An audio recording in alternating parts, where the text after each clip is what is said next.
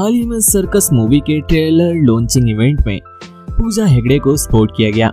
इस दौरान पूजा हेगड़े रेड साड़ी में नज़र आई। पूजा हेगड़े को देखकर फैंस उनके दीवाने हो गए। पूजा हेगड़े के इस लुक से फैंस उनकी निगाहें नहीं हटा पा रहे हैं। साथ ही साथ इस वीडियो में जैकलिन फर्नांडिस भी बहुत ही ज़्यादा क्यूट एंड ब्यूटीफुल लग रही है। दोनों ने ही रेड साड़ी पहन रखी है। और दोनों ही काफ़ी ब्यूटीफुल नज़र आ रही हैं। हम आपको बता दें सर्कस एक कॉमेडी मूवी है, जिसमें बॉलीवुड के बेहतरीन कलाकार Ranveer Singh, Pooja Hegde Jacqueline Fernandez and famous comedian Johny Lever जैसे कई बेहतरीन कलाकार हैं यह मूवी बहुत जल्द रिलीज़ होने वाली है